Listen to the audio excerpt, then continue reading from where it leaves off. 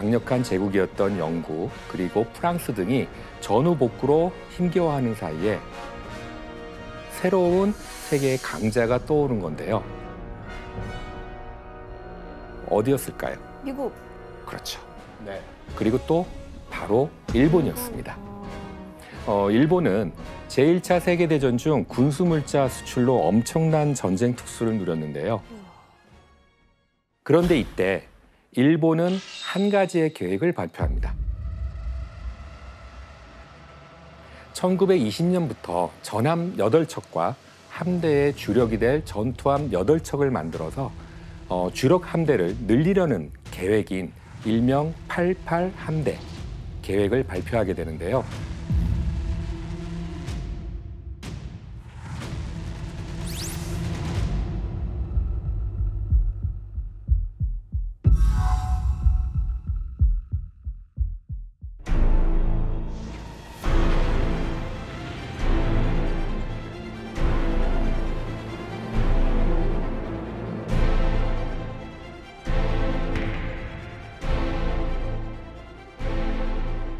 전쟁도 막 끝났을 무렵 일본은 대체 왜 이런 계획을 세운 걸까요?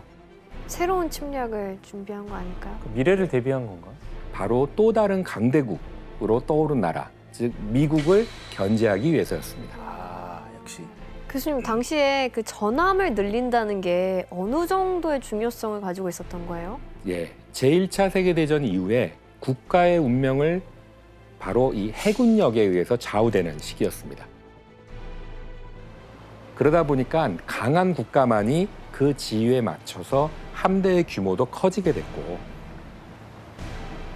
이 함대의 질과 숫자가 곧 국력의 상징이 됐던 거죠. 이렇게 일본이 전함까지 늘릴 계획과 함께 강대국의 반열에 올라섰다는 기쁨을 누리던 그때 일본의 기대는 무참히 깨지고 맙니다. 왜요? 바로 1921년 미국은 더 이상의 전쟁을 막겠다는 명목하에 워싱턴 DC로 태평양과 동아시아 지역의 권리와 이익을 가지고 있는 아홉 개 국가를 불러 모으게 됩니다.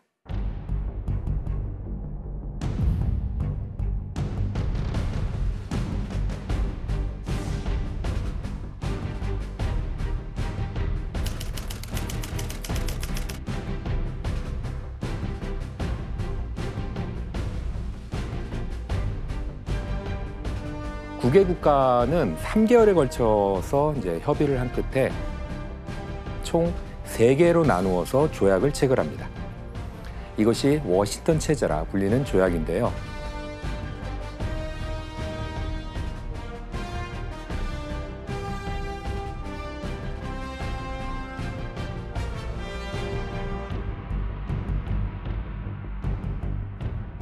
오개국 조약. 미국, 영국, 일본, 프랑스, 이탈리아 오개국의 해군 군축 협정. 5개국이 맺은 해군 군축 협정 조약으로 일본은 88 함대를 만들겠다는 전함 건조 계획에 좀 발목이 잡히게 되는데요. 이때 나온 숫자가 있습니다. 바로 553. 이 숫자가 뭘 의미하는 걸까요? 군함수는 아니겠죠? 어유 맞습니다. 아 맞아요? 예, 영국, 일본이 보유할 수 있는 전함의 비율이에요. 아 그러니까 미국과 영국이 5, 일본이 어, 3에 해당하는 비율로 전함을 가질 수 있었던 겁니다. 미국과 영국은 52만 5천 톤의 함 전함이 인정되는 반면에 일본은 31만 5천 톤의 전함만 인정될 수 있었던 거죠. 와. 아, 제한시켰네요. 그렇죠. 왜 받아들였지 근데? 예, 일본으로서는 당시 미국을 견제하고는 있지만, 그러니까 이 조약을 거부하면 국제적으로 고립되거나 타격을 받을 수 있으니까 받아들일 수밖에 없었던 거죠. 그 일본에서는 평화를 위한 협정이니까 그 환영하는 분위기도 있었지만 그래도 특히 군부에서는 쿠츠조쿠가 있고라고 굴욕 외교라고 굴욕적이다. 예, 굴욕적이다. 예, 그 간대국에 너무 양보했다 라고 비난하는 사람들도 많다고 해요. 미국은 여기서 아 이제 됐어 하고 멈췄을까요? 강력한 걸 했을 것 같아요. 예, 물론 아니었습니다. 그 미국은 1930년 런던에서 열린 군축회의를 통해서 또다시 일본과 군사력 축소 조약을 체결하면서 일본의 팽창을 더더욱 저지하고자 합니다. 아, 그런데 이때 일본의 불만이 터지는 계기가 된 사건이 발생합니다. 대체 어떤 일이 일어났던 걸까요? 바로 만주사변이 일어난 거죠.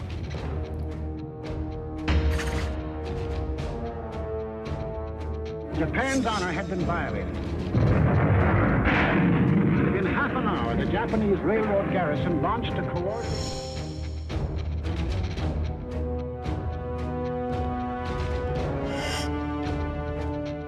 이때 그동안 일본을 예의주시하던 미국이 만주 사변이 전적으로 일본의 책임이, 책임이고 그리고 상당한 준비 끝에 대대적인 침공을 시작했다며 비난하기 시작을 합니다.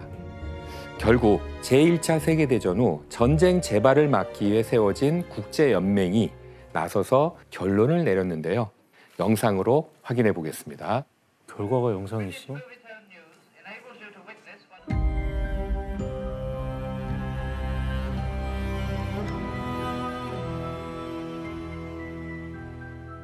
China has long been derelict in her international duties as a sovereign state, and Japan, as her nearest neighbor, has been the greatest sufferer on that score. The adoption of this report would give the impression to the Chinese that they had been exonerated from all responsibility. I ask you not to adopt this report. The dramatic moment has arrived.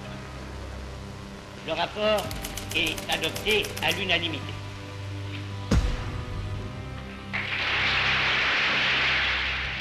Japan, however, finds it impossible to accept the report adopted by the Assembly.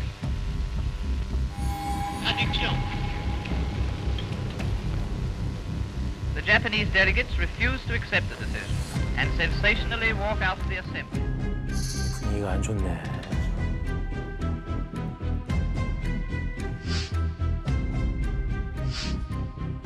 회의장을 박차고 나온 이후 곧바로 국제연맹 탈퇴를 통보하게 됩니다. 불만이 터져 나온 건 일본 내부에서도 마찬가지였어요.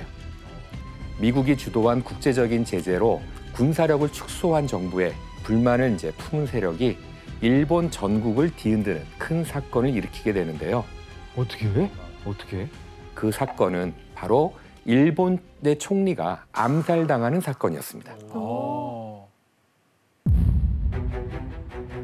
1930년 11월 14일 평화 외교를 내걸며 군축 조약을 맺었던 27대 총리 하마구치 오사치라는 총리가 도쿄역에서 저격을 당해서 결국 사망에 이르게 되는데요.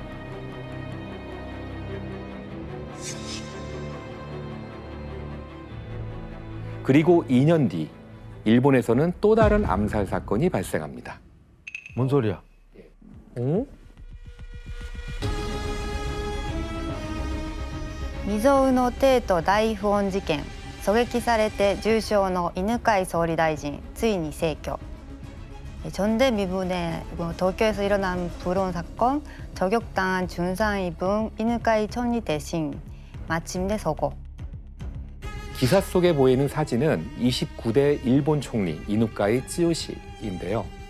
도쿄의 총리 관저에서 저격을 당해서 결국 사망하고 맙니다. 그 범인은 바로 강경파 군인, 즉 지금의 이제 우익 세력들과 같은 사람들이었는데요.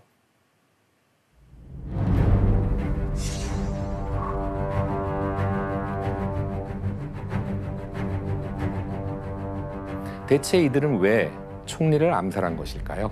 자꾸 협조하고 예. 그거를 왜 받아들이냐 이런 예, 거 아니에요? 굴욕적인 거를 하느냐 굴욕적인 걸왜 하고 있냐? 거죠. 이들 입장에서 이누카이 총리는 나라의 힘을 약화시키는 연약한 총리였던 셈입니다. 범인들이 이누카이 찌요시 총리와 더불어 살해하려고 했던 인물이 또 한 명 있었어요.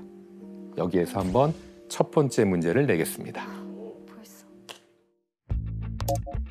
이누카이 치요시 총리를 암살한 세력은 이날 미국의 한 유명 인사도 함께 암살할 계획을 세웠는데요. 그 유명 인사는 누구일까요? 알 것 같아요. 여러분 다 아셔요. 정답하세요. 정답. 정, 네. 채플린? 아닌가? 찰리 채플린? 아닌가?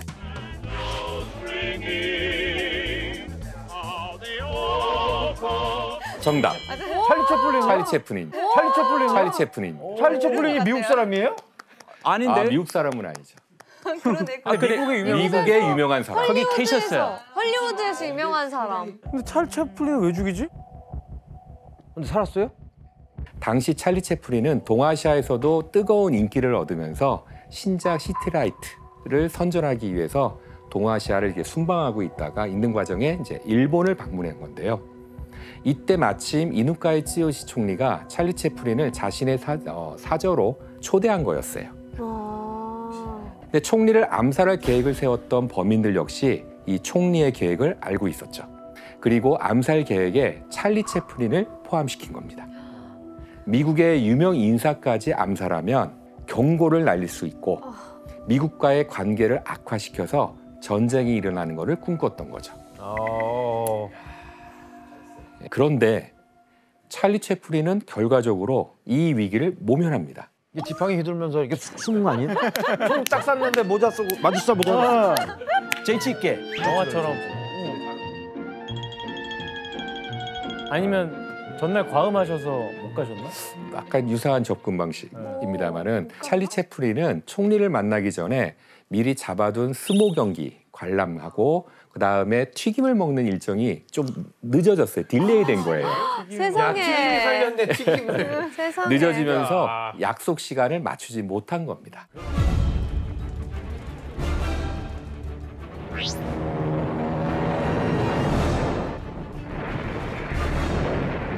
당시 제2차 세계대전에 참전한 서구 열강들의 수많은 함대가 태평양을 떠나서 나치 독일에 맞서고 있었는데요. 그 사이 태평양에 있는 서구 열강들의 식민지를 호시탐탐 노리는 나라가 있었는데 바로 일본이었죠. 이때 미국은 태평양을 노리는 일본을 막으려는 한 가지 묘수를 내는데요. 에? 본토인 캘리포니아 기지에 있어야 할 함대를 하와이에 대거 주둔시킨 겁니다. 일본을 견제해서 태평양을 좀 장악하려는 그런 의도 아닐까요? 그렇죠. 일본에게 더 이상 침범하지 말라. 태평양에서의 영역을 확대하지 말라라고 하는 무언의 압력이었던 거죠. 그러니까 이 이상 넘어오지 마라. 그렇죠. 선을 지켜라. 결국 일본은 1940년 9월 북베트남 국경을 넘어서 당시 프랑스령이었던 인도차이나 북부를 점령하고 맙니다. 아, 이젠 동남아시아 쪽으로 눈을 돌린 거네요. 그렇죠. 자원이 풍부한 동남아로 이제 눈을 돌리는 거죠. 그런 다음 일본은 곧바로 며칠 뒤에 미국의 제재가 가해지기 전 초강수로 이제 대응을 하게 되는데요. 어떤 건지 한번 화면을 볼까요? 이 그림의 의미를 좀 아시겠어요? 아 삼국 친선? 세 개의 나라가 친선 맺자는 거 아니에요? 역시 일본어 능력 시험 3급에 이야. 포스터를 보면 이렇게 쓰여 있습니다. 삼국친선 일독이 일본과 독일, 이탈리아를 가리키는 말입니다. 아 일독이.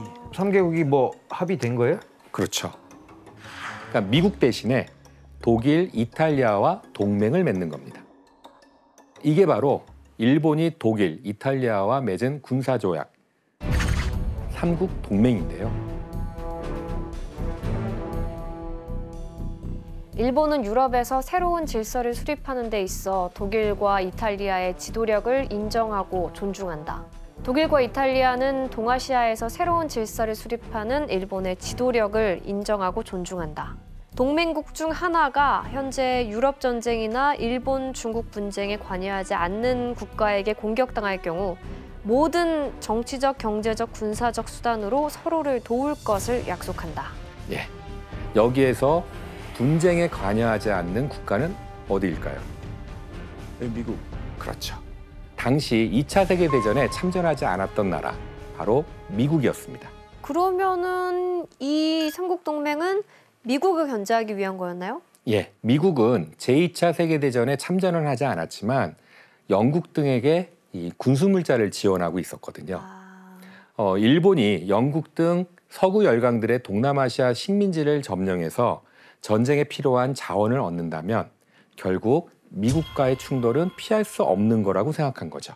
그 결과 일본은 독일, 이탈리아와 손을 잡게 된 겁니다. 삼국 동맹으로 나치 독일과 이탈리아가 생긴 그 일본은 이제 마음 놓고 태평양 일대를 점령해 나가기 시작을 하는데요. 당시 프랑스와 네덜란드, 영국이 점령하고 있던 나라들이 보이죠. 일본은 1940년 9월 삼국 동맹 후 곧바로 인도차이나 북부뿐만이 아니라 그 전체를 점령해 버립니다. 그리고 1941년 1월 아시아 최대의 석유 산지이자 전쟁에 필요한 고무와 쌀 등이 풍부했던 곳 바로 네덜란드령 인도네시아의 슐라웨시 섬을 차지하게 됩니다. 그러니까 미국한테 수입이 막히니까 동남아시아에서 수탈을 하려는 그렇죠. 거네요. 그렇다면 동남아시아 침공을 감행했던 일본을 미국이 그냥 가만히 보고만 있었을까요? 아니죠. 어떻게 제재하지? 미국은 먼저 태평양을 노리는 일본을 견제하기 위해서 1941년 2월 진주만을 기지로 태평양 함대를 창설합니다.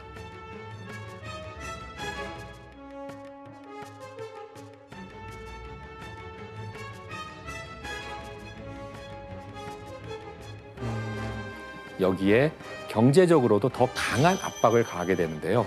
음, 일본에게 항공기 제조에 필요한 물자의 수출을 전면 금지시키고 일본으로 들어가는 석유 수출을 완전히 중단시켜 버리게 됩니다. 어, 그럼 끝나는데? 제일 필요한 건데 석유가. 엄청난 타격.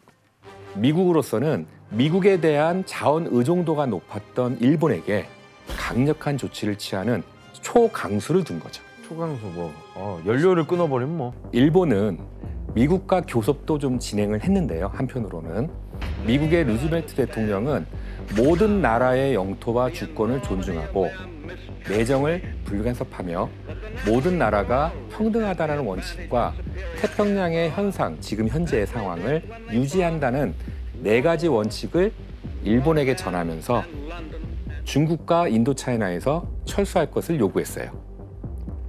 과연 일본이 이 조건을 받아들였을까요? 절대 아니죠.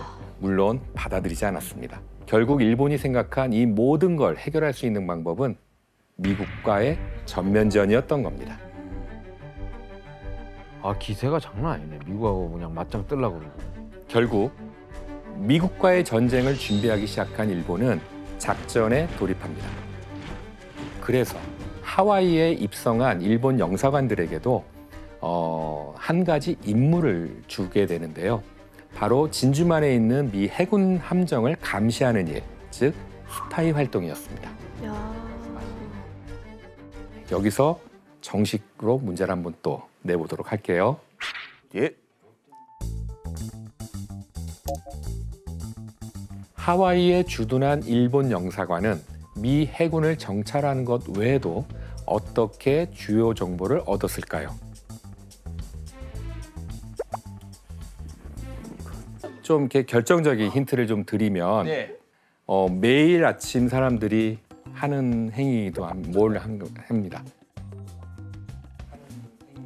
정답. 크리스 씨, 매일 아침에 신문을 봐요. 신문. 맞아요? 크리스 씨 정답. 신문이야? 진짜요? 예. 신문. 어, 현지 아니 신문은 신문은 누구나 다 보는 거잖아요. 예. 그게 어떻게. 근데 그때 당시에 하와이에서 발행하는 현지 신문에는 하와이에서 주둔하는 미군의 함대 동향을 좀 상세하게 싣고 있었어요. 신문에? 예. 야 희한하다 그것도. 희한하다. FDR requests funds for 68 Navy vessels. 프랭클린 루즈벨트 대통령은 68척의 해군 함정에 대한 자금을 요청. The second contingent of approximately 30 ships, including the aircraft carrier Yorktown, will leave on or about October 14th, according to unofficial reports. 오, 엄청난 정보네요. 비공식 보고서에 따르면 항공모함 요크타운 포함한 약 30척의 두 번째 함대는 10월 14일경에 떠날 예정이다. 아니 비공식적인 거를 공식적으로 올리고 있네. 그 말도 안 돼요 이게. 저게 신문에 나온다고요? 이 신문사가 스파이 아니에요? 그러니까 당시 하와이 신문은 미국 함대의 규모와 활동, 심지어 입출항 날짜까지도 구체적으로 보도하고 있었어요. 진짜 내, 내부에 적이 있네 진짜. 예, 하와이의 일본 영사관은 그대로 이 내용을 일본에 보고한 거죠. 그러니까 그럼 일본에서는 그렇겠다. 야, 너 그걸 어떻게 알아냈냐? 대단하다. 대단하다 하면서 아 뭐 별거 아니에요 내가 이 정도입니다 이렇게 하면서 예, 그리고 일본은 하와이에서 활동하는 스파이들을 통해서 중요한 사실들을 알아냅니다. 기본적인 미 해군의 방어 시설과 항공기, 함정의 종류는 물론이고요. 1941년 5월 함대 전력의 4분의 1이 대서양으로 빠져나갔다는 사실이었습니다. 가장 많은 함정이 항구 내에 정박하는 게 일요일이라는 것.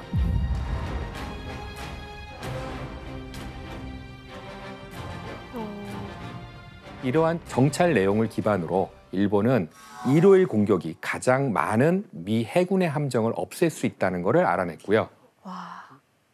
또한 먼저 일본은 진주만과 오아후 섬의 그림을 활용해서 섬의 주요 지역, 지형물을 미리 파악을 했고요.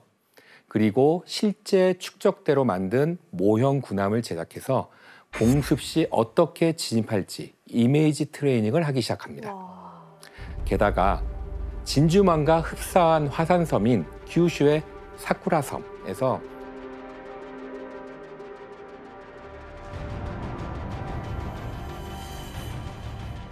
진주만 공습의 실전 훈련과 저공 비행 훈련 등을 실시하면서 공습 준비에 박차를 가하는데요. 일본 해군은 항공기를 실은 항공모함 6척을 앞장 세워서 이투루프 섬에서 하와이로 향하게 됩니다. 이 명령을 앞장서서 수행한 인물이 있습니다. 바로 나구모 추이치라는 항공모함 지휘관이었는데요. 이때부터 이들은 극비리의 작전을 수행하기 위해서 외부와의 일체의 통신도 하지 않고요. 바다에 쓰레기조차 버리지 않았는데요. 이렇게 미국이 눈치채지 못하게 조심조심 태평양을 건너간 결과 9일 만에 하와이를 공격할 수 있는 범위 내에 접근하게 됩니다. 이때 일본의 목표는 두 가지였습니다. 하나는 진주만에 정박한 태평양 함대를 파괴하는 것. 그리고 또 다른 하나는 비행장에 있는 항공기를 파괴하는 거였어요. 결국 1941년 12월 7일 일요일 일본군은 빠르게 진주만을 향해 공격을 시작합니다. 항공기를 싣고 또 띄울 수도 있는 항공모함 6척 그리고 전함 2척 그 외 전투함 15여 척과 항공기 350여 대와 함께 진주만 인근에 도착하게 됩니다. 되게 많이 갔네. 총공격이야. 성공격인 거죠. 오전 6시 10분 일본군은 항공모함에서 항공기를 발진시키게 됩니다. 모두 800시간이 넘는 실전 경험을 가진 베테랑들로만 엄선된 조종사들이었는데요. 이들의 항공기는 빠르게 진주만을 향해 공격을 시작합니다. 일본의 1차 공격은 진주만에 정박해 있던 태평양 함대와 항공기지를 집중적으로 파괴했는데요. 그렇지. 와. 숙성적으로 그냥 당하네 이거. 그냥 정박해 있는 거잖아요. 예.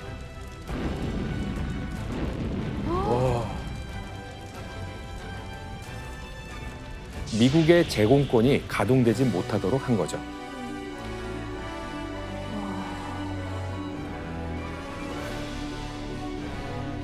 완전 영화 같아요 그냥 뭐 그냥 저 실제 영상인 거잖아요. 그렇죠. 이때 일본은 진주만 공습을 위해 준비한 비장의 무기를 꺼내듭니다. 일본은 진주만 수심이 얕다는 정찰 정보를 듣고 난 후 얕은 수심에 투하할 수 있는 신형 어뢰를 개발했어요. 아. 그새 진주만에 딱 맞는. 그렇죠. 기존 어뢰보다 물속 깊이 빠지지 않아서 수심이 얕은 진주만 폭격해는 최적이었던 겁니다. 결국 일본 항공기의 어뢰 공격에 전함 USS 애리조나의 함수 어, 탄약고가 예, 터지면서 1177명의 미 해병들이 목숨을 잃었습니다.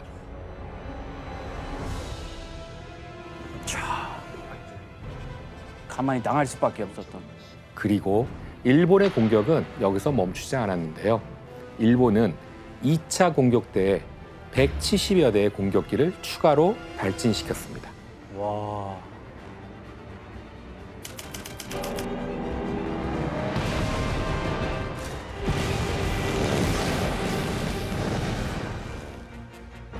이미 자초된 미국의 전함들까지 끝까지 공격한 일본의 항공기는 1시간 50분 만에 모든 공격을 마치고 사라졌습니다.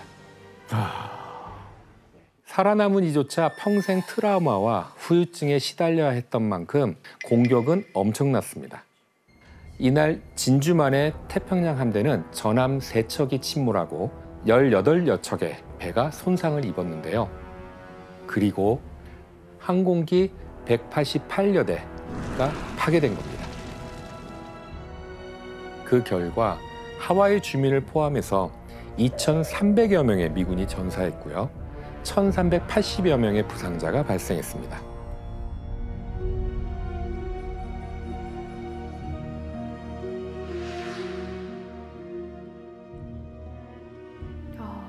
반면에 일본군은 손실된 항공기는 겨우 29대 정도였고요. 장함정과 대형 잠수함 등 6척가량이 손실되었을 뿐이었어요. 미국의 완벽한 패배였던 거죠. 일본이 준비를 너무 철저하게 한 것 같아요. 하지만 진주만 공격을 했던 그 대목에서 일본이 결정적인 실수 두 가지를 하게 되는데요. 진주만 2차 공격이 지난 후 일본의 공격 대장은 3차 공격으로 오일 탱크와 병창 기지를 폭격하자고 주장합니다. 하지만 항공모함의 지휘관 나구모는 그것을 거절을 하죠. 어, 더 이상의 모험은 원하지 않았던 겁니다. 어,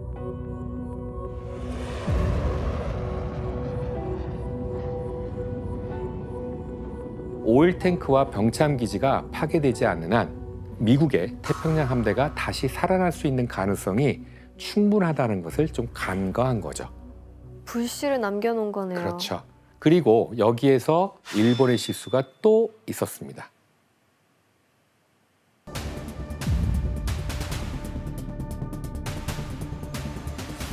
그러니까 미국의 항공모함은 대체 어디에 있었을까요? 이동했나? 진주만 공습이 있기 며칠 전에 미국의 항공모함인 엔터프라이즈호 그리고 렉싱턴호는 바다에 나가서 작전을 수행하고 있었어요. 아, 사실은 일본도 요, 이 사실을 알고는 있었습니다. 네, 하지만 멀리 하와이까지 온 이상 기습 공격을 포기하기는 어려웠던 거예요. 결국 3차 공격 중지와 미군의 항공모함을 공격조차 해보지 못했던 어, 일본의 진주만 공습은 태평양 전쟁의 뒤바뀐 향방의 결정적인 계기가 됩니다. 그리고 진주만 공습은 오히려 전쟁에 대한 미국의 단결을 불러일으키는 결과를 만들어냅니다. 아니 미국이 화가 나서 가만히 있겠어요? 이제 진짜 전쟁이지. 우리 전쟁이다. 그렇죠. 당시 미국의 대통령이었던 루즈벨트는 참전하지 않겠다는 약속을 깨고 연설을 통해서 치욕의 날로 선언하면서 일본과의 전면전을 선포했는데요. 정말 분노했겠다. Yesterday, December 7th, 1941, a date which will live in infamy. The United States of America was suddenly and deliberately attacked by naval and air forces of the Empire of Japan. No matter how long it may take us to overcome this premeditated invasion, the American people in their righteous might will win through to absolute victory. A state of war has existed between the United States and the Japanese Empire.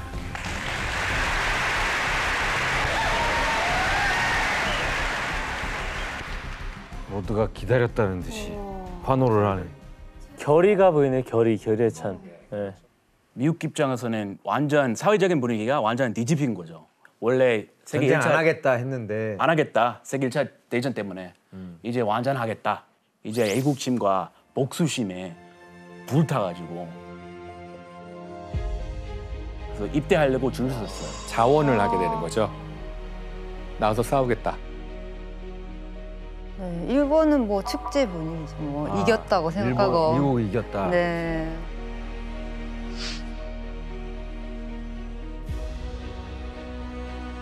그 아홉 명이 올해 발사하면서 죽는데 그 아홉 명을 진주만의 구군신이라고 신격화하고 신으로 진주만 공습 후 일본은 더 이상 미국의 눈치를 보지 않고 태평양의 다른 섬들을 차례대로 차례차례 점령해 나가기 시작을 합니다.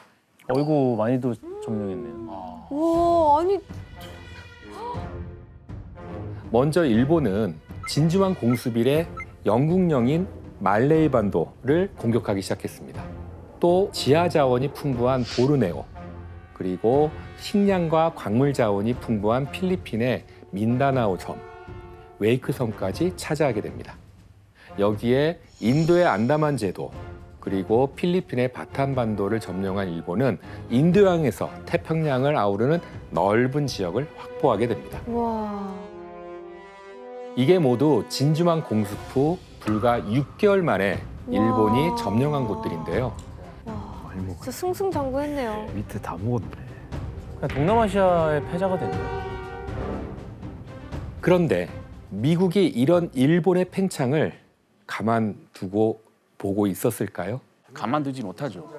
미국은 일본의 복수전을 결심하고 대대적인 전력 수정에 이제 나서게 됩니다. 미국의 루즈벨트 대통령은 먼저 진주만의 책임을 물어서 킨멜 제독을 경질하고 새로운 사령관을 임명하게 되는데요. 태평양 함대를 지휘할 새로운 사령관은 체스터 니미츠라는 인물이었습니다.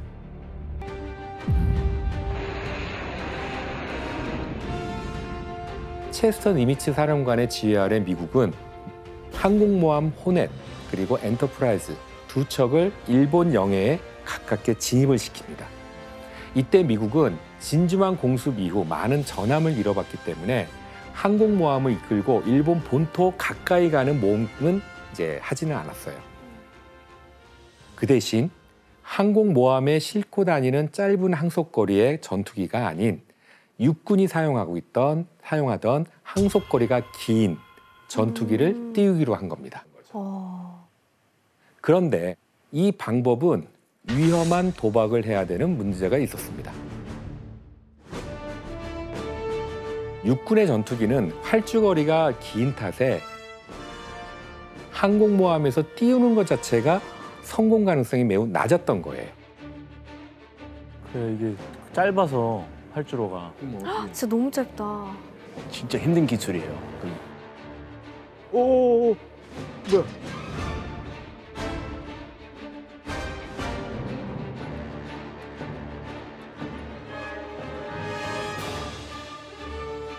이렇게 도쿄까지 미국의 전투기 16대는 무사히 날아갔고 작전대로 도쿄에 폭격을 가했습니다.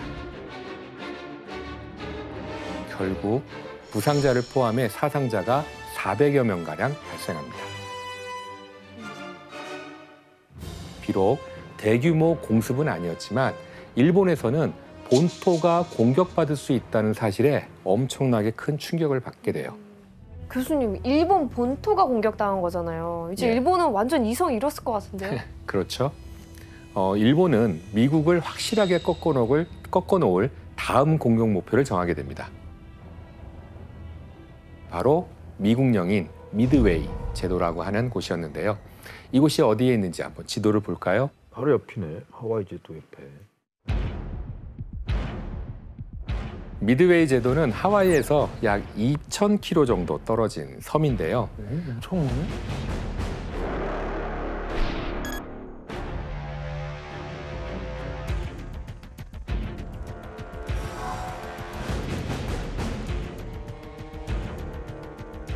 일본은 미드웨이 제도를 점령하고 진주만에서 이곳으로 미군의 항공모함을 유인해서 격파하려는 계획을 세웁니다. 다시는 미국의 항공모함이 일본 근해에 접근하지 못하도록 만드는 게 목적이었죠. 그러니까 출항 자체를 못하게 만들겠다는 거죠. 아, 게다가 미드웨이는 위치상 태평양의 전략적 거점지이기 때문에 일본은 미드웨이를 이후 예정된 하와이 점령 작전의 교두보로 삼으려고 했습니다. 태평양 전쟁에서의 일본의 운명은 바로 이 미드웨이에서 결정됩니다. 어. 태평양 전쟁 두 번째 컷 미드웨이 해전에서는 대체 무슨 일이 벌어졌던 것일까요? 당시 전투를 벌이기 전 두 나라의 전력을 한번 비교해 볼까요? 네. 예, 먼저 일본은 소류, 히류, 아카기, 카가 네 척의 항공모함과 전함 두 척, 그 외 전투함 12여 척, 그리고 항공기 276여 대를 싣고 미드웨이로 향하게 됩니다. 이게 맞네. 예. 그에 반해 미국은 일본의 반밖에 안 되는 항공모함 호넷 그리고 엔터프라이즈 두 척을 가지고 전함 없이 전투함만 15여 척, 항공기 360여 대를 보유하고 있었죠. 여전히 일본에 비해서 항공모함에서 열세였는데요. 아, 그래서 일본이 어느 면에서나 승리가 점쳐지고 있었습니다. 결국 1942년 6월 4일 새벽 일본은 항공모함 4척에서 항공기를 발진시키면서 그 기습 공격을 시작합니다.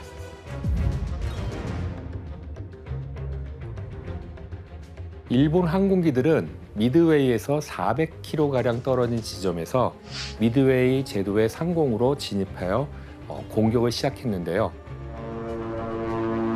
어, 맞았네.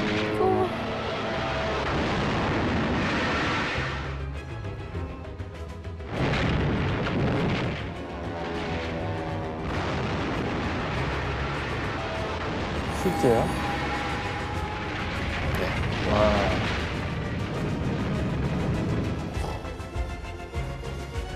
그런데 일본군은 뭔가 이상하다는 점을 깨닫게 됩니다.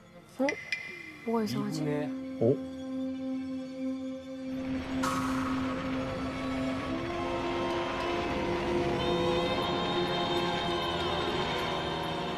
그리고 이때 미군의 항공기가 갑자기 상공에서 나타난 거죠.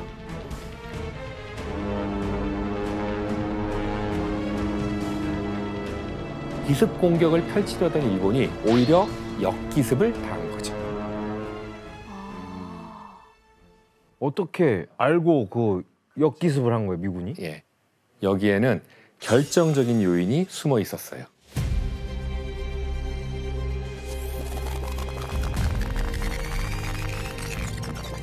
사실 미국은 이미 일본의 계획을 다 알고 있었던 거예요. 어떻게? 어떻게? 어머나.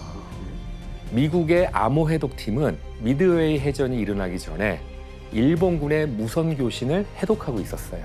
그중 한 암호 해독가가 일본군의 교신에서 한 가지 중요한 단서를 찾는데요. 바로 AF로 지칭하는 목표물에 관한 일본의 작전이었던 거죠. 암호 해독가는 AF를 곰곰이 생각하던 중에 지난 3월 일본군의 교신에서 AF를 지나가고 있다라는 말을 기억해내게 됩니다. 당시 일본군이 태평양에서 지나갈 수 있는 섬은 미드웨이 제도뿐이었거든요. 그는 AF가 미드웨이 제도임을 확신하고 상관에게 보고를 했는데요. 그의 말을 들은 상관이 들어줬을까요? 못 믿었어요. 예, 아니었습니다. 못 믿었죠. 이 암호 해독가의 말은 증거가 없다라는 이유로 묵살당하게 됩니다. 항상 상관들은 그런다. 항상 그래 보면. 하지만 그는 포기하지 않았습니다. 자신이 직접 체스터 니미츠 사령관에게 보고까지 감행을 하게 돼요. 니미츠 사령관은 다르죠. 그렇죠. 네. 그 처음엔 그렇지 않았어요. 어, 그분도? 체스터 니미츠 사령관 역시 군의 규율이 있으니까 군을 모두 움직이는 전쟁이니만큼 확실한 증거가 필요하다라고 생각한 거죠. 여기서 한번 문제를 내겠습니다. 암호 해독가는 AF가 미드웨이 제도라는 증거를 찾기 위해 어떤 방법을 썼을까요? 어려운데. 서로 서로가 해킹을 하고 있다는 것을 알고선 그걸 또 이용을 하죠. 해킹을 알고 이용을 한다고요? 저도 영화를 봐서 이거는 아. 영화 전쟁 영화 좀 그만 봐. 전쟁 광이네 보니까. 저 네. 무한경. 네, 혜성 씨. 네, 뭔데요? 그러니까 미드웨이라는 단어를 직접적으로 암호에 써서 보낸 거예요. 미드웨이에 식수가 떨어졌어. 이렇게 거짓 정보를 흘려요. 그래서 일본군들이 어? AF에 식수가 부족하대. 음. 이렇게 암호를 한 거를 가로채서 아 AF가 미드웨이가 맞네. 이렇게 확신을 한 거예요. 정확히 정답입니다. 잘했어요. 예, 미국은 암호 해독의 힘으로 미드웨이 제도 근처에서 항공모함 두 척과 함께 일본군을 기습할 만만의 준비를 할 수 있었습니다. 일본군의 허를 찌르게 된 겁니다. 야. 이런 미국의 사정을 알 길 없었던 나구모 지휘관은 미군이 미드웨이 제도에 숨어 있다고 생각하고 방어선을 무너뜨리기 위해서 항공모함에 남은 폭격기의 폭탄을 모두 지상 공격용 폭탄으로 교체하게 되는 거죠. 여기서 또 한 번의 반전이 일어나는데요. 30분 뒤에 온 무선 교신에서 미드웨이 제도 주변에 항공모함이 있다는 이야기를 듣게 된 겁니다. 적어도 한 2, 3일은 걸린다고 생각했거든요. 그리고 일본은 여기서 또다시 깜짝 놀라게 되는데요. 한 대가 늘었네? 그렇죠. 미군의 항공모함 중에는 미드웨이 해전 바로 직전에 벌어진 전투에서 침몰시켰다고 생각한 미군의 항공모함 요크타운이 있다는 사실이었습니다. 오. 예. 아니 그러니까 침몰 시켰다고 확신을 했다라는 거는 예, 본인들이 봤을 거 아니에요. 그렇죠. 거의 침몰 직전이었던 어, 요크타운을 미국이 다시 살려놓은 거죠. 야. 예. 거의 SCB급인데요? 와, 수리가? 배고치네요. 예, 요크타운의 상태를 본 전문가들은 전투에 투입하려면 3개월에서 6개월은 걸린다고 진단을 했었어요. 그런데 한시가 급한 전시 상황에서 사령관 니미츠는 3개월이나 기다릴 수 없었던 거죠. 그래서 불과 3일 안에 고쳐놓으라고 명령을 내리게 됩니다. 대박이죠. 항공모함 요크타운은 응급 수리만 받은 채 태평양을 이동하면서 계속 수리를 한 결과 결국 복구에 성공을 하게 돼요. 이동하면서 수리를. 대박이다. 두 나라의 항공모함 수가 단한 척밖에 차이가 나지 않는 상황이니만큼 결과를 예측할 수 없는 상황으로 이제 빠져들게 되는 거죠. 항공모함을 발견한 일본은 다시 목표를 수정해야 했습니다. 폭탄 바꿔야지 또. 그렇죠. 이제는 미드웨이 제도의 방어선을 뚫는 게 목표가 아니라 승리를 위해서는 미국 항공모함을 격침시켜야 되는 거죠. 지상 공격용 포탄으로 교체했던 폭격기를 다시 항공모함을 격침시킬 어뢰로 교체해야 되는 거였죠. 하지만 이 교체 시간은 적어도 1시간 30분이나 걸리는 긴 작업이었습니다. 와. 그런데 이때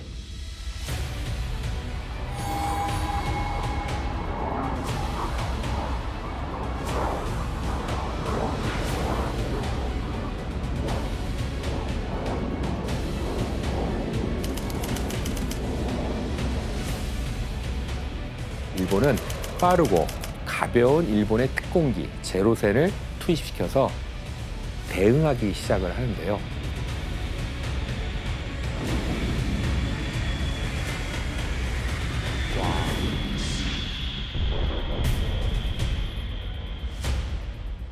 그리고 미군은 또다시 위기를 맞게 되는데요. 미국 항공모함에서 발진한 항공기들이 약 280km 떨어진 일본의 항공모함을 찾지 못하고 상공에서 길을 잃어버린 거였습니다. 아이고야.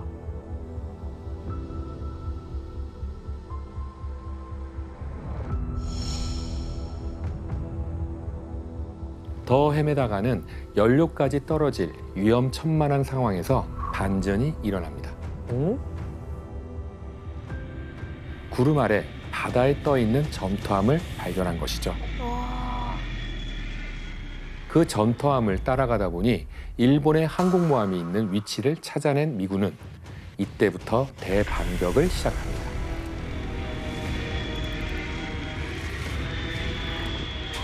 미국 항공기가 일본 항공모함 세 척에 폭탄을 직격시킨 겁니다.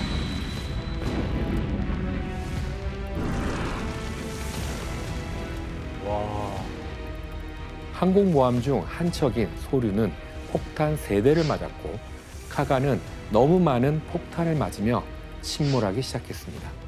여기에 항공모함 아까기는 단 한 발의 폭격으로 순식간에 타오르고 맙니다. 그리고 마지막까지 남은 항공모함 히류 역시 끝까지 버티다가 폭탄을 맞아 파괴돼서 바닷속으로 사라지게 됩니다. 일본의 핵심 전력이었던 항공모함 4척 모두 태평양에서 침몰하게 된 거죠. 다 침몰됐구나. 서로 서로 막 행운들이 막 계속 찾아오고 엎치락뒤치락 하는 게 어, 되게 뭐 미국 입장에서는 운도 좀 따라준 것 같아요. 구름 사이로 갑자기 항공모함이 발견돼서 그렇죠. 치열했던 이날 전투로 인해서 일본은 항공모함 4척이 침몰했고 전투함 한 척과 항공기 250여 대, 조종사 등 3천여 명이 전사를 하게 됩니다. 미국 역시 부활했던 요크타운이 끝내 침몰하게 되긴 하지만 전투함 한 척과 어, 항공기 150대, 307명이 전사하면서 완전히 승기를 잡게 됩니다. 이제 일본의 기세가 꺾이기 시작한 거죠. 미드웨이 해전 후 태평양 전쟁의 분위기는 완전히 뒤바뀌어 버리게 됩니다. 미국은 막대한 자본력으로 군수 물자의 생산을 늘리고 1943년부터 매달마다 최신형 항공모함을 생산해내기에 이르게 되죠. 그 결과 총 90척이 넘는 전투함을 만들어내기도 했는데요. 이제 전력 면에서는 일본을 훨씬 뛰어넘게 된 겁니다. 와. 미드웨이 해전 이후 미국은 가달카날 섬에서 연합군과 대규모 공세를 펼치고 승기를 이어갔는데요. 이후 일본은 마셜 제도와 팔라우 제도, 마리아나 제도에서 패배를 거듭하며 일본의 전세는 완전히 기울고 맙니다. 여기에 2호섬 함락으로 일본군은 더더욱 일본 본토로 쫓겨갈 수밖에 없었죠. 이제 미국에게 남은 건 일본 본토를 치기 위한 작전뿐이었습니다. 일본군 역시 마지막으로 본토를 방어하는 마지노선까지 온 상황인 거죠. 먼저 당시 오키나와 전투의 전력을 한번 비교해 볼까요? 네. 아이씨. 아, 차이가 많이 나네. 한눈에 봐도 차이가 확 느껴지죠. 아니 이게 항공모함이 어느새 40 40척이잖아요. 아니 항공모함 40척이면 그냥 끝난 거예요. 진짜 미국은 와. 미군과 연합군은 4년간의 태평양 전쟁을 마치기 위해 함대를 집결해서 바다에서 오키나와 섬을 일제히 포격을 가하게 됩니다.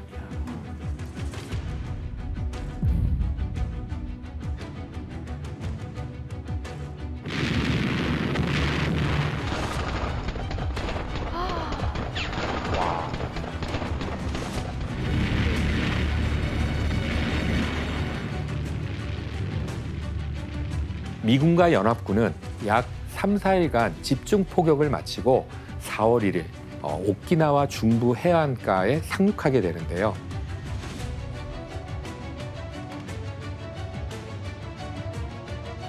미군은 드디어 오키나와 섬에 착륙했지만 섬은 쥐 죽은 듯 조용했습니다.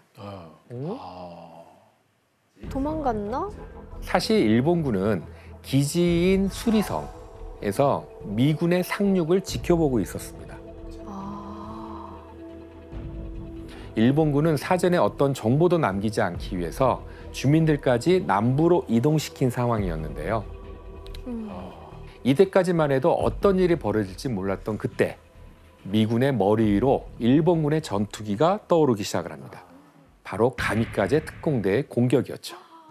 일명 자살 공격이 시작된 거예요. 와, 제일 무서워.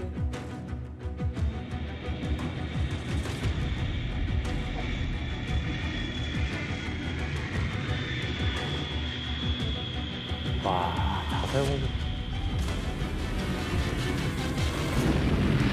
와.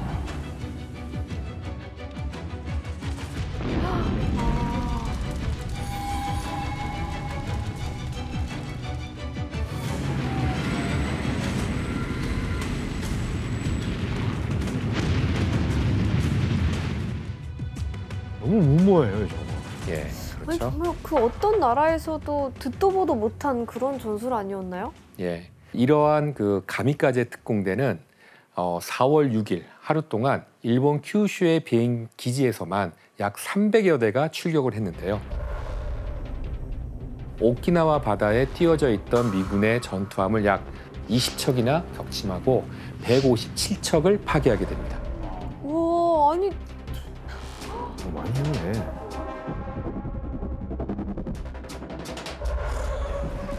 그렇다면 육지에서는 어땠을까요? 상륙했던 미군 중 일부가 남부 아래로 내려가 수색을 펼쳐가던 결과 일본이 만든 지옥의 입구를 만나게 됩니다. 음, 좀? 먼저 일본군은 옛 왕국의 성터였던 수리성을 중심으로 방어선을 구축했는데요. 수리성 주위로 수겹의 다중 방어 진지를 구축해 놓은 일본군을 찾아내기 위해서 미군은 이 빨간 선에서 계속 전투를 벌여가면서 아래로 이제 진격하게 되죠. 어. 이때 일본군은 섬 내부의 험준한 요새로 미군을 이리저리 유인을 하게 되는데요. 마치 거미줄을 쳐놓은 것처럼 기다리고 있다가 먹잇감이 제 발로 들어오면 공격하는 방식이었어요.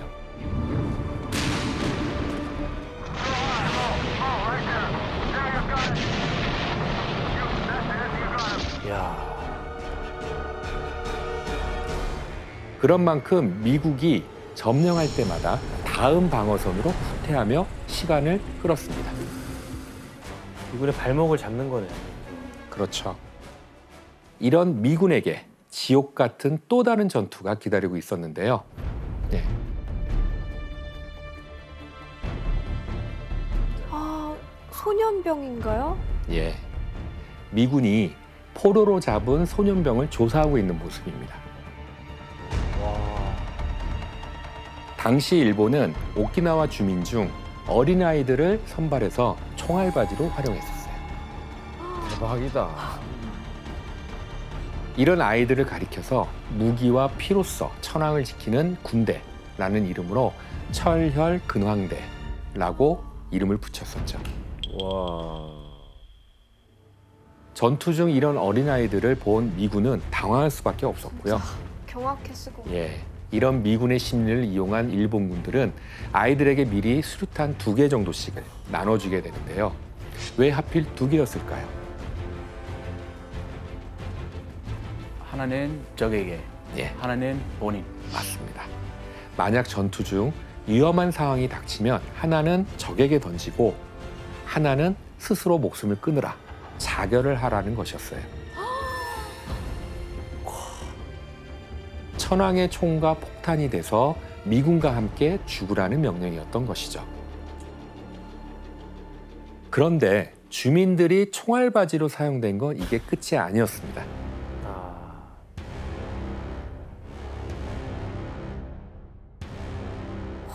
찾아내기 되게 힘들었겠다. 그러니까 이때 일본군은 미군의 눈을 피해서 동굴에 숨을 때 주민들 사이에 있는 경우가 많았습니다. 그러니까 미군은 일본군을 색출하기 전에 불필요한 희생을 줄이기 위해서 전단지를 뿌려서 오키나와 주민들에게 항복을 권유하고 그리고 이제 설득을 하거나 겁을 줘서 협박까지도 하게 됩니다. 하지만 오키나와 주민들은 좀처럼 항복을 하지 않고 일본군과 함께 그 자리에서 나오지 않고 사망하는 경우가 많았어요.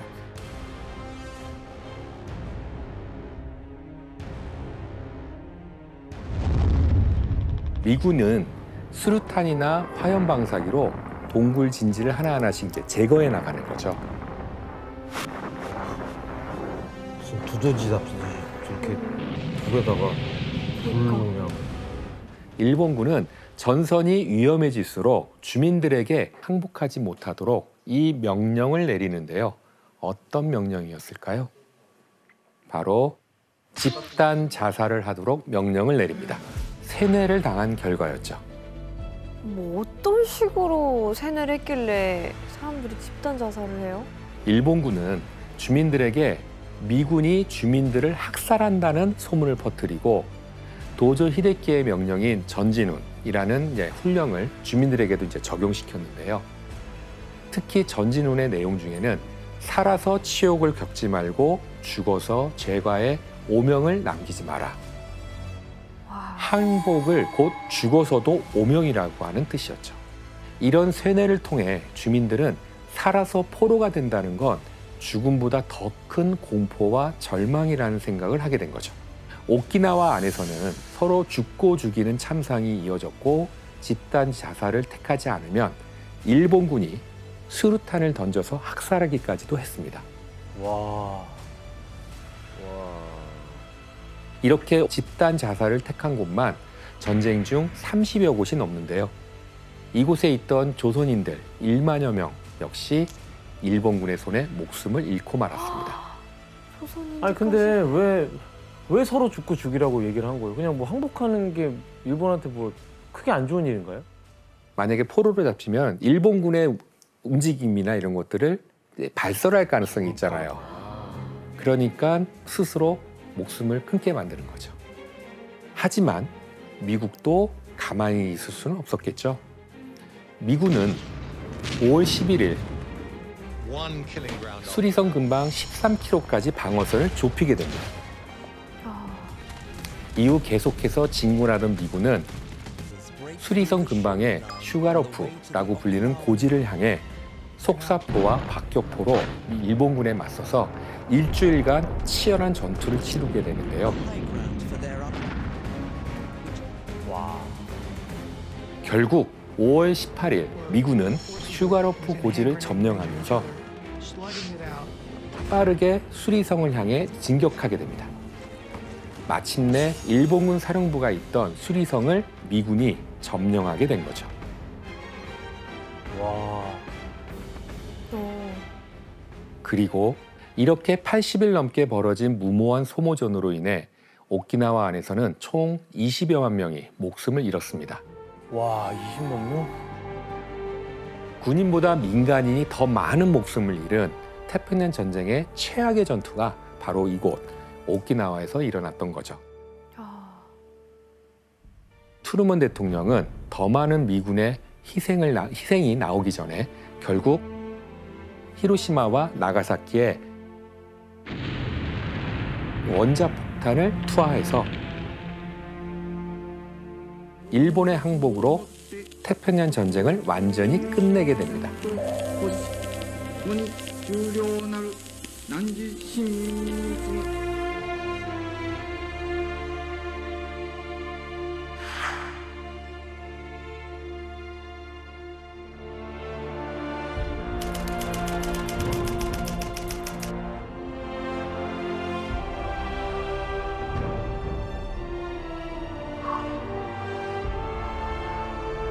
일본 최남단 도서 지역에 미사일 부대가 하나둘씩 배치되고 있습니다.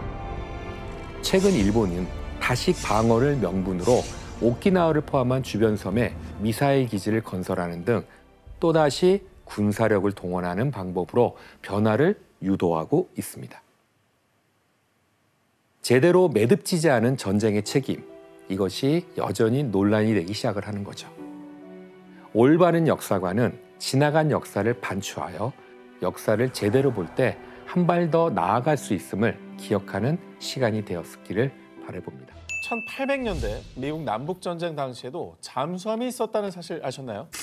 미국 남북 전쟁에 투입되기 위해 1863년 건조된 잠수함 HL 헌리호. 남북 연합군이 개발한 비밀 병기 잠수함으로요. 길이 12m, 높이 1.2m밖에 되지 않아 사람이 몸을 최대한 움츠리고 겨우 기어 들어가야만 했고요. 엔진도 없어 손으로 직접 프로펠러를 돌려야 했지만요. 아우 뭐야 아, 안 들어가고 말지 저거. 야 네, 당시 1800년대입니다. 아니 손으로 가서 얼마나 가? 네. 바닷속 비밀 병기로 당시로서는 충분히 위협적인 막강한 무기였습니다. 그렇겠네요. 음, 하긴 레이더 같은 것도 없죠. 물 밑으로 공격하는 애들은 없잖아요. 저 당시에. 그렇죠. 네. 그러니까 진짜 위협적인 존재긴 하죠. 그렇습니다. 1864년 2월 17일 북부 군함 후사토니코에 접근한 헐리오는 어뢰 투하에 성공. 그런데 말입니다. 후사토니코를 침몰시킨 뒤 공격 성공 신호까지 보낸 헐리오는 무슨 이유에서인지 기지로 귀환하지 않았는데요. 결국 찰스턴의 앞바다에서 영영 모습을 감춰버린 승조원 8명과 헐리호. 아무래도 기계적인 결함 때문에 물이 새지 않았을까. 저 당시 기술력으로는 사람들이 너무 힘들어서 지치지 않았을까? 지쳐 죽었다. 못 오는 거죠 이제. 너무 힘들어서. 아 올라갈 힘이 없다고? 그렇죠. 자, 헌리오의 행방이 베일을 쌓은 가운데 1995년 4월 드디어 미국의 한 탐사선이 헌리호를 발견. 그리고 2000년 8월 헌리오를 인양하며 실종 136년 만에 헌리오가 세상의 모습을 드러냈습니다. 1864년 거야 저게? 그럼 뭐인지 알 수 있겠네요. 조사 딱 해보면. 자, 그런데 말입니다. 인양된 헌리오의 모습을 본 사람들은 더 혼란에 빠지고 말았는데요. 그 이유 바로 아, 아니 잠수함 안에 유해가 그대로 있어요. 침몰 당시 전사한 38명의 유해가 하나도 소실되지 않고 제자리에 그대로 있었던 겁니다. 제가 볼 때는 저 좁은 공간에서 질식사. 그래 산소가 떨어진 거야. 산소가 떨어졌다. 왜냐하면 또 운동을 많이 했잖아요. 그래. 그 산소 소모량이 늘어났을 텐데 아, 뭐 맞네. 요즘처럼 그렇게 정교하게 계산을 했겠냐고. 그러니까 산소가 질식사야. 거죠. 음, 여러 가지 추측들이 난무하는 가운데 이를 이상하게 여긴 미국 대학교의 한 연구팀이 당시 헌료의 침몰 당시 상황을 재현 조사했습니다. 연구팀의 조사 결과 폭발로 인한 엄청난 압력이 헐리호에 전달됐을 것으로 추정됩니다. 근데 이게 또 웃기잖아요. 네. 충격으로 선원 사망할 정도면 배는 멀쩡합니다. 어. 야, 근데 뭐 기술력이 대단하긴 한데 너무 좁다. 너무 너무 가깝했을 것 같아요. 아, 근데 손으로 저걸 저었어야 되니까 최대한 물의 저항을 줄이려고 디자인했을 것 같아요. 그랬나 보다. 해전 역사에서 큰 기록을 남긴 헌리호의 침몰 미스터리. 과연 그날 헌리호에선 무슨 일이 벌어졌던 걸까요? 일본 히로시마와 시코쿠 사이에 위치한 오쿠노시마 섬. 둘레 약 4.3km의 이 작은 섬의 또 다른 이름은 토끼섬. 섬 안에 사는 천여 마리의 토끼를 만나기 위해 매년 수십만 명의 관광객들이 오쿠노시마 섬을 찾고 있습니다. 아니 그 섬의 둘레가 4.3km면은 여의도보다도 훨씬 작은 거거든요. 어. 근데 그 안에 토끼가 천 마리가 있는 거니까. 근데 이 작은 섬에 유독 토끼가 많은 이유가 뭐가 있을까요? 전해지는 바에 따르면요. 과거 오쿠노시마 섬에는 20명 남짓의 주민들이 살고 있었는데요. 자, 그런데 제1차 세계대전 이후 갑작스레 오쿠노시마 섬을 찾은 일본군들이 주민들을 섬 밖으로 내쫓은 뒤 급기야 일반인의 출입을 금지했다고 합니다. 아니 굳이 뭐 잘 살고 계신 왜 주민들을 내쫓죠? 여기를? 뭔가 비밀 군사 용도로 활용하려고 한 것 같은데요. 대체 그 이유가 뭐냐? 1929년부터 제2차 세계대전이 종전된 1945년까지 오쿠노시마 섬에서는 아주 은밀한 공장이 가동됐는데요. 그 정체는 독가스 제조 공장. 어? 일본군은 제2차 세계대전에서 사용할 독가스를 실험하고 제조할 비밀스러운 장소로 이곳 오쿠노시마 섬을 선택했고요. 16년간 약 6,600톤의 독가스를 제조, 군사 기밀을 지키기 위해서 심지어 당시 지도에서 오쿠노시마 섬을 치우기까지 했습니다. 아, 731 부대 하면서 인체 실험했지. 저런 독가스 쓰지 말아야 될 무기를 만들었지. 아, 참 참혹하네요. 자, 설에 의하면 당시 토끼를 이용한 극악무도한 독가스 동물 실험이 이루어졌다고 하는데요. 그런데 1945년 제2차 세계대전에서 일본이 패망하자 일본군은 공장을 폐쇄한 뒤 섬을 떠나고 당시 살아남은 토끼들이 번식하며 지금의 토끼 섬이 됐다고 추정되고 있습니다. 어, 불쌍한 얘기네요, 진짜. 아, 진짜 뭐 썰이고 추정이긴 하지만 이게 사실이라면 토끼섬이 된 이유가 너무나 가슴이 아프네요. 진짜. 그러니까. 그러니까 저 토끼들의 조상들이 독가스 실험에 다 이용당했다라는 그렇죠. 거네요. 혹시 섬에 사는 수많은 토끼가 이 잔혹한 역사의 미스테리를 간직한 비극적인 전쟁의 증거가 아닐까 싶습니다. 두 기자님은 나치 독일의 독재자 아돌프 히틀러가 어떻게 세상을 떠났는지 알고 계십니까? 마지막 자- 장면. 권총 자살. 권총 자살. 네. 음. 1945년 4월 30일 제2차 세계대전 당시 독일의 폐색이 짙어지자 독재자인 아돌프 히틀러는 독일 베를린의 지하 벙커에서 연인이던 에바 브라운과 함께 청산가리를 복용한 뒤 권총으로 자살했다라고 전해졌는데요. 네. 그리고 다음 해 소련군에 의해서 매장됐던 히틀러의 유골이 발굴, 이후 2000년 러시아 국가 기록 보관소에서 총탄의 흔적이 남은 그의 두개골을 보관 중이라고 공개했습니다만 이후에 그의 죽음은 수많은 의혹과 음모론을 불러 모았습니다. 생전에 보여준 모습은 아주 강인한 모습이었는데 그가 나약하게 그냥 아무리 코너에 몰렸다고 해도 자살했다는 거를 사람들은 쉽게 믿지 못했을 것 같아요. 그랬을까? 설마? 그런데 말입니다. 2009년 히틀러 죽음에 대한 미스터리를 증폭시키는 연구 결과가 전해졌습니다. 미국 코네티컷 대학의 고고학자인 닉 벨란토니 교수가 러시아 국가 기록 보관소에 보관돼 있던 히틀러의 두개골 어. 그리고 그의 혈흔이 남은 소파에서 샘플을 채취해 DNA 분석을 했는데요. 그렇지. 히틀러의 것으로 추정되는 두개골은 40세 미만의 여성의 것으로 판명됐습니다. 에바 브라운 아니야? 일단 히틀러라고 하면 맞는 게 하나도 없어요. 연인인 에바 브라운의 두개골일 수도 있다라는 가능성도 제기됐지만 브라운의 알려진 사인은 총상이 아니었고요. 해당 두개골이 에바 브라운의 것이라는 명확한 증거를 밝혀내지 못했습니다. 히틀러의 두개골을 러시아에서 가지고 있다고 발표한 것도 사실 미스터리였어요. 왜 거기가 있는지. 음. 근데 그것조차 뭐 분석해 보니까 사실이 아니라고 하니까 야 이게 음모론이 더욱더 스멀스멀 나올 수밖에 없는 상황인 것 같습니다. 어디 있을까요?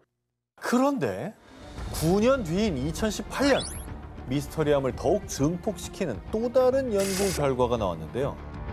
러시아가 보관 중이던 두개골이 히틀러가 사망 1년 전에 찍은 엑스레이 사진 속의 두개골의 모양과 정확히 일치한다고 전했고요. 게다가 러시아가 보관 중이던 히틀러의 치아에 대한 추가 조사를 통해서 그의 치아 일부에서 독극물의 흔적까지 발견됐다며 히틀러가 독극물을 먹고 권총으로 자살한 것이 맞다는 결론을 내렸습니다. 아니 40대 미만 여성의 두개골이라면서요? 같은 두개골로 주사한 건데 미국과 프랑스의 연구 결과가 이렇게 차이가 나는 거는 음. 누구 말을 믿어야 되는 겁니까? 러시아가 보관하고 있는 두개골은 정말 히틀러의 것일까요? 만약 아니라면 그 두개골의 정체는 뭘까요?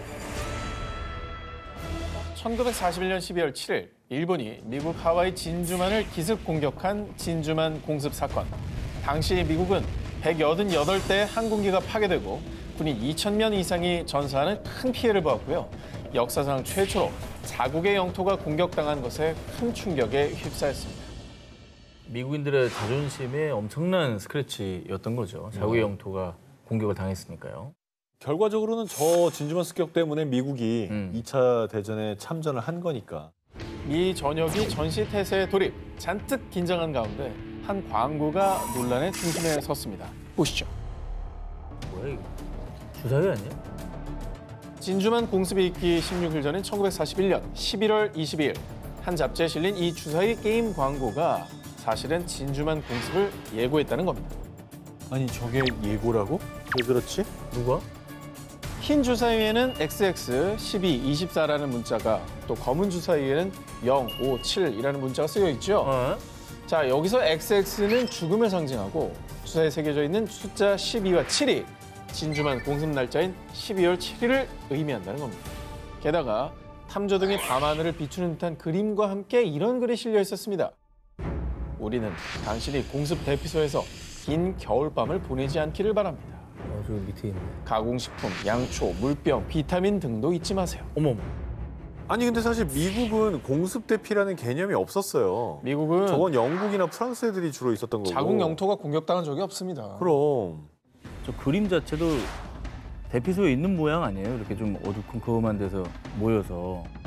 사건의 심각성을 인지한 FBI가 조사에 투입, 광고를 낸 잡지사를 조사했습니다. 네. 그런데 광고 사본이 잡지사에 전달될 당시 이를 의뢰받은 직원은 누가 광고를 의뢰했는지 기억하지 못했고 어?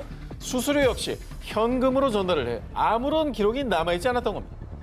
냄새 나네, 냄새 나. 아, 냄새 난다. 어쨌든 일리가 있다고 생각하니까 FBI가 사건에 관여를 했겠죠. 그렇습니다. 네. 자 그렇게 사건이 미궁에 빠지려던 찰나 실체를 알 수 없었던 광고 의뢰인의 정체가 드디어 밝혀지게 되는데요. 누구예요, 누구? 해당 광고가 실린 또 다른 신문사에 광고 수정 요청 연락이 온 겁니다. 오! 그러나 그는 이미 사망한 상태. 자 신문사에 연락을 한 건 그의 아내였습니다. 그 주사위 광고는 단지 홍보 목적이었을 뿐이라고요. 남편이 게임 광고를 만들 당시 본인도 함께 디자인에 참여했다며 진주만 공습 예고서를 부인했지만요. 사건에 대한 의혹은 여전히 풀리지 않고 있습니다. 공습 두 주 전에 이제 광고가 게시된 것도 이해에 불구하고 광고를 만든 사람도 사망했다 그러고. 저기 진짜 이상한 그림이라니까.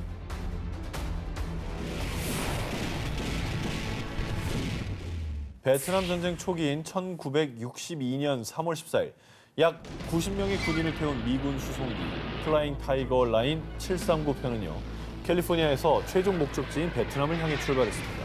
그런데 이틀 후 현재 위치를 보고하라. 739편 응답하라. 마지막 교신으로부터 몇 시간 후 739편은 갑작스럽게 연락이 두절 태평양 한가운데서 감쪽같이 실종되는 전대미문의 실종 사건이 벌어졌습니다. 그런데 정말 미스터리한 점은요. 사고가 발생한 날은 맑은 날씨로 기상 악화로 인한 사고는 아니었고요. 739편이 실종된 곳은 전투 지역도 아니었습니다. 그렇게 사건이 미궁에 빠지려던 찰나 두 개의 불덩어리가 바다에 떨어지는 걸 봤어요. 사고 당일 739 편의 비행 지점 인근 바다에서 항해하던 라이베리아 유조선 승무원들이 하늘에서 밝은 섬광을 목격했으며 불에 휩싸인 두 개의 물체가 바다에 빠졌다고 증언한 겁니다. 취했나 보다. 그러니까 자네가 이제 두 개로 박살이 어. 나면서 폭발이 일어났거나 네. 이게 근데 외부의 공격이 없으면 그게 힘들거든요. 실종된 739편을 찾기 위해 미 함대와 공군 등을 투입. 약 8일간 태평양 52만 제곱킬로미터를 대대적으로 수색했지만 시신이나 잔해 등 그 무엇도 발견되지 않았습니다. 굉장히 큰 수정입니다. 그러게. 그리고 1년 후 미국 민간 항공국은 비행 중 파괴된 것으로 보이나 사고 원인을 알 수 없다라고 발표했는데요. 어허. 그리고 미국 정부는 739 편이 전투 지역이 아닌 곳에서 사고가 났다며 베트남전 참전 용사 기념관에 739편에 탑승한 군인들의 이름 등재를 거부해 왔습니다. 그러니까 섬광은 일부러 저게 격추된 것처럼 보이게 하려고 뭐 만든 것 같고 다른데 이제 납치했을 가능성이 높아 보이는데. 음. 근데 군수송기라는 게 뭐 내부에 적이 있어야 그런 일이 일어나는 아니 거죠. 그리고 주변에 잔해가 없었대. 진짜 미스터리하네요. 1968년 6월 15일 베트남 전쟁 당시 남베트남과 북베트남 사이에 비무장지대를 지나던 미군의 순찰함. 그런데 아군을 공격 중. 지원바라, 지원바라. 순찰함은 정체불명의 비행체에게 공격을 받아 침몰했고요. 안타깝게도 다섯 명의 사망자가 발생. 그리고 다음 날 새벽 호주군의 구축함 역시 비무장지대에서 의문의 비행체의 공격을 받았습니다. 침몰한 순찰함을 뒤따르던 두 번째 순찰함에 타고 있던 군인들에 따르면 그날 밤 의문의 비행체가 발견됐고 곧바로 앞서가던 순찰함이 파괴되면서 밝은 빛이 터져나왔어요. 당시 미군은 정체불명의 비행체를 적군의 헬리콥터라고 불렀지만요. 사고 당시 해당 지역에 미군과 호주군의 적군인 베트콩의 헬리콥터가 출격했다거나 아군의 헬리콥터가 비행했다는 보고도 없었습니다. 헬리콥터가 없었다는 얘긴데 그럼 뭐지? 아니 뭐 적군도 아니고 뭐 비행 기록도 없다 그러면 의문의 그 비행체는 있었다잖아요. 그게 뭡니까?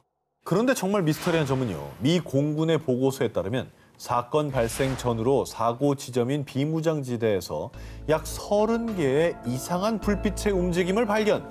이 수상한 빛은 여섯 차례나 목격됐는데요. 그런데 이상한 점은 이 빛은 밤에만 특정 지역에서만 발견됐다는 겁니다. 진짜 외계선이었습니까? 그리고 베트남 전쟁 당시 군인들의 의문의 불빛과 함께 목격한 비행 물체 중 일부는요. 당시 500km 속도의 미군 비행기보다 3배 빠른 속도였다고 하는데요. 그래서 일부 사람들은 의문의 불빛과 정체불명의 비행체에 대해 UFO가 배들을 공격한 거다라고 주장하기도 했습니다. 저거 말고 할 소리가 없다, 진짜.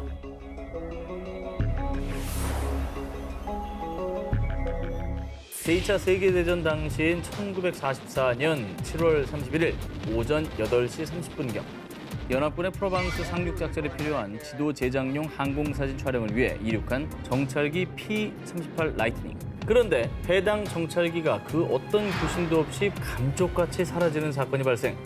해당 정찰기 실종 사건에 전 세계가 떠들썩해졌습니다. 그리고 사람들을 더욱 놀라게 한 건 이 조종사의 정체였습니다. 조종사가 누구길래 전 세계가 떠들썩해져요? 자, 이분은 모르는 사람이 없어요. 굉장히 유명한 분이요. 유명합니다. 전쟁 영웅? 일단 힌트를 드리겠습니다. 네. 작가입니다. 해밍웨이, 생텍쥐베리. 생텍쥐베리와 해밍웨이. 생텍쥐베리. 그걸로 가시겠어요? 본인을 안 믿어요? 안 믿어요. 둘 중에 답이 있어요. 생텍쥐베리. 이거 마침 내가 뭐 주려고 그랬는데 진짜지? 뭐 뭐 줄 건데? 어? 뭐 줄 건데? 아, 5천 원 주지 뭐.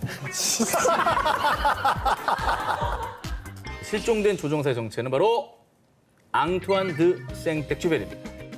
제 원래는 파일럿이었죠. 아셨어요? 네, 전 알고 있었습니다. 오호.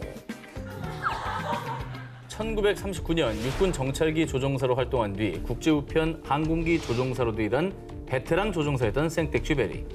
베테랑이었던 그가 아무런 무전도 없이 사라진 데다가 심지어 그 어디에서도 그의 시신이나 정찰기의 파편조차 발견되지 않자 그의 죽음에 대한 다양한 추측이 제기됐습니다. 이게 사실 경력이 되게 많은 베테랑이었거든요. 네. 뭔가 소설처럼 사라지셨어요. 그러니까 무전도 없이. 그러니까. 네. 감쪽같이. 도대체 어디로 가신 걸까? 자 먼저 생텍쥐베리의 자살설이 돌기 시작했습니다. 그의 지인들은 생텍쥐베리가 평소 우울증을 알아왔다고 증언했고요. 그리고 그의 작품을 사랑하는 독자들은 그가 작품 속 어린 왕자처럼 그의 별을 찾아 자살한 것이 아니냐라고 추측을 했습니다. 사실 뭐 작품 속에 여러 가지 의미를 많이 담겨져 있잖아요. 판타지도 있고 또 약간 쓸쓸하기도 해서 네. 죽음에 대한 뭔가 환상적인 의미 부여를 하기가 쉬울 수밖에 없을 것 같아요. 그런데 말입니다. 그가 실종된 지 54년 뒤인 1998년 프랑스 마르세유 인근에서 조업 중이던 한 어선의 그물에 은 팔찌 하나가 감겨 올라왔습니다. 거기에 앙투안 드 생텍쥐베리란 이름이 선명하게 새겨져 있었고요. 인식표가 있었네. 그렇죠. 2004년 생텍쥐베리가 탔던 정찰기의 제조 번호가 찍힌 부품까지 발견되며 실종 60년 만에 미스테리했던 그의 죽음의 진실이 밝혀지는 듯 했습니다. 그런데 2008년 한 남성의 충격적인 고백. 제가 생텍쥐베리의 정찰기를 격추했습니다. 독일 공군 조종사였던 호르스트 리페르트가 1944년 7월 31일 프랑스 남부 해상을 비행하던 중 P-38 라이트닝을 발견하고 격추했고 이후 라디오 방송을 듣다가 자신이 격추한 비행기 조종사가 생텍쥐페리였음을 알게 됐다고 인터뷰한 것이죠.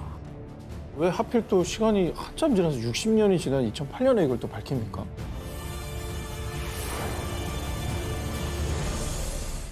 아르헨티나의 산부인과 의사 헬무트 그레고르, 파라과이의 알프레도 마이엔, 브라질의 수의사 볼프강 게르하르트.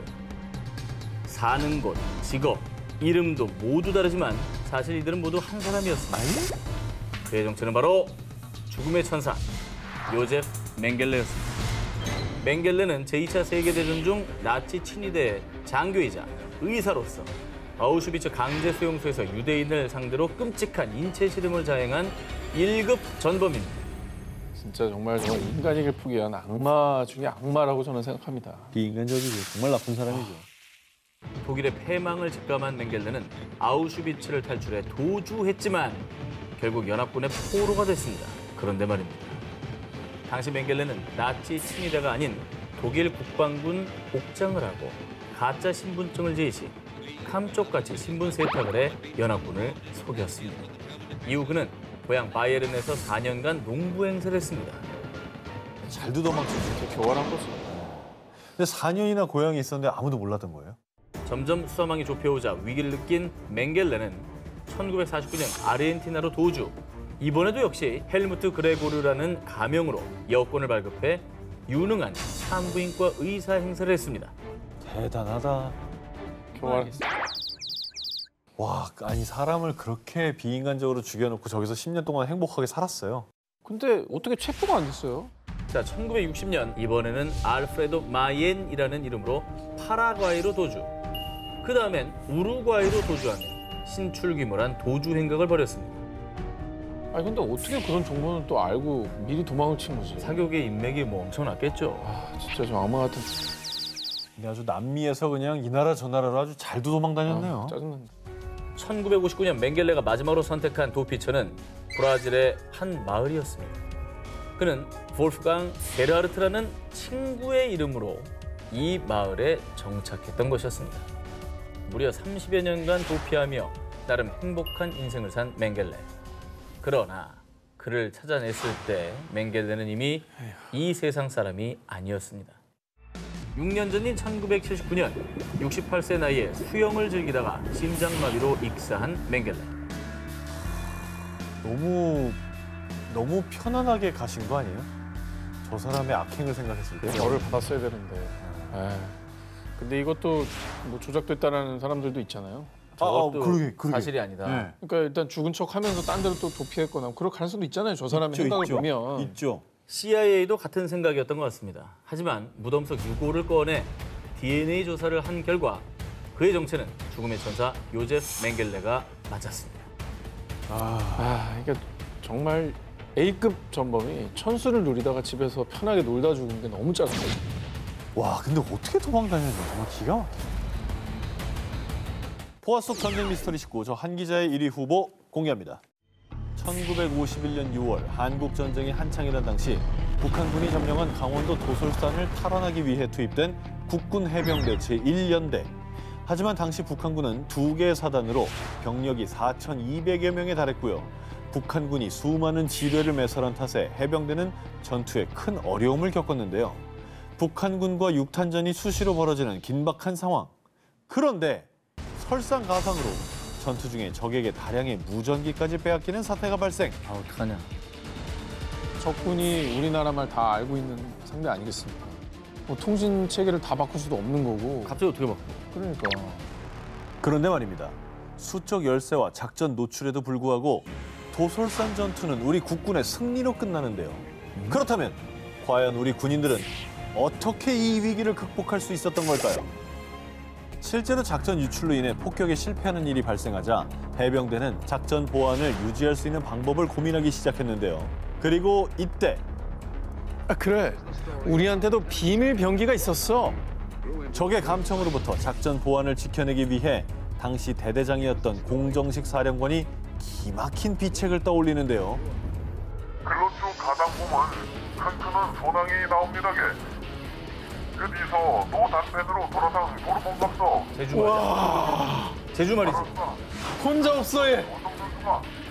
이 도솔산 전투 비밀 무기의 정체는 바로 제주어 교신. 야, 저 북한도 진짜 머리 깨졌겠다 진짜 이. 알아서 뭔 소리나 애가. 그러니까 이게 한 30%가 캐치되니까 더 짜증나는 거지. 아예 안 들리면 상관이 없는데 조사나 뭐 중간중간에 주어나 이건 들리잖아. 뭐좀 가서까지는 알겠어. 근데 뭐 소멍서 돌아가면서 뭐 이러는데 뭔 소린지 는 모르겠잖아. 야, 더 짜증나, 더 짜증나. 들으면 글로 쓸 수는 있어요. 아, 쓸 수는 있지. 뭔 얘기인지 모르지. 야, 그 아이디어 어떻게 그 생각을 하지? 평소 전쟁사를 즐겨 읽던 공사령관은 태평양 전쟁 당시에 미군이 인디언 나바호족의 언어를 암호로 사용했던 것을 떠올려서 아이디어를 냈다고 하는데요. 역시. 다행히 당시 해병대 주축이었던 해병 3기와 4기생 대부분이 제주 출신이어서 비밀스럽게 제주어 교신이 가능했던 겁니다. 야, 또 북한군은 제주 출신이 오히려 적을 수밖에 없잖아요. 거의 없다시피 하지 않아요? 시리적으로. 그렇게 도솔산 전투는 17일간의 혈전 끝에 북한 인민군 2,263명을 사살하고 북한군이 점령했던 도솔산을 탈환하며 한국 해병대의 대승리로 끝이 났고요. 도솔산 전투의 승전을 이끈 제주 출신 군인들의 비밀 작전은 승리의 역사로 전설처럼 전해지고 있습니다. 이번 특종은 사진부터 공개해 드리겠습니다. 자, 두 기자님은 지금 사진 속에 보이는 이 물체가 어떤 걸로 생각되시나요? 어, 우주선이요. 딱 발사하게 생겼는데 밑에? 항공모인가? 종 모양이라고 해서 실제로 벨이라는 이름이 붙여진 이 비밀스러운 물건의 실체를 지금부터 파헤쳐 보겠습니다.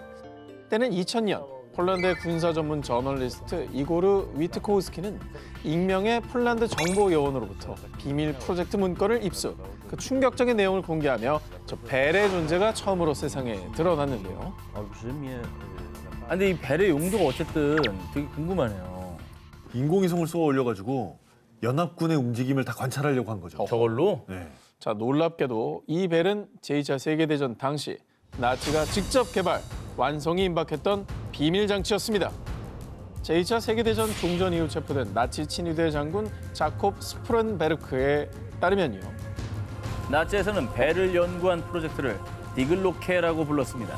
제2차 세계대전 당시 1000톤급 메가 탱크, V2 로켓 등 신무기 개발에 전력을 다했던 나치는요.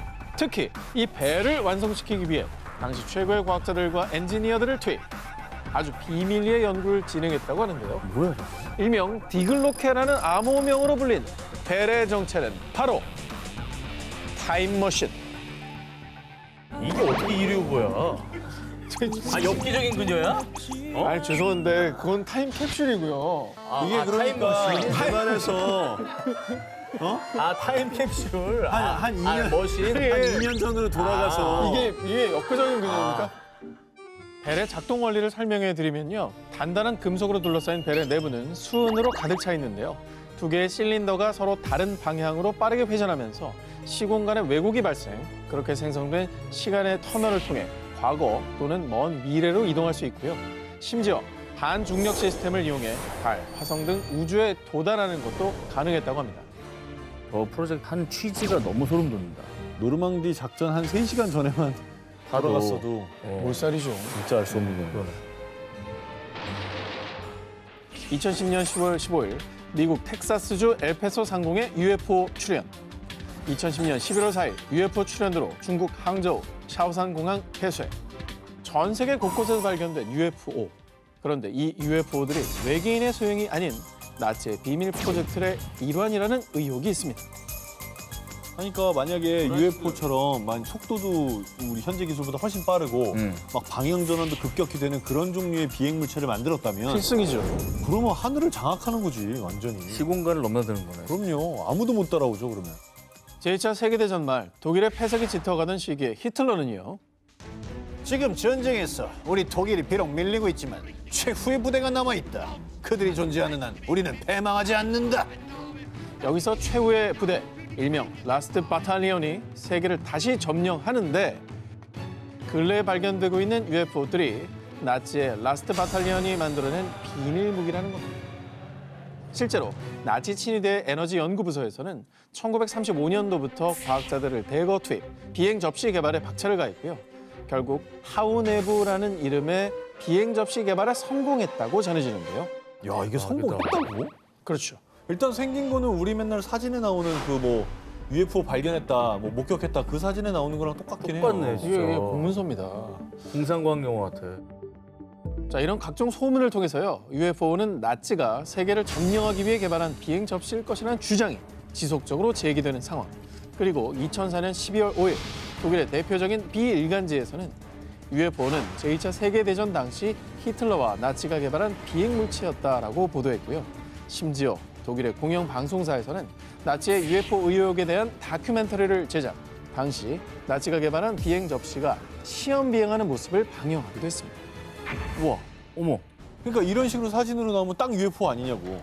아니 독일 대표 일간지하고 공영방송사에서 보도할 정도면 뜬구름 잡는 얘기는 아니에요. 신빙성 있는 얘기예요 지금.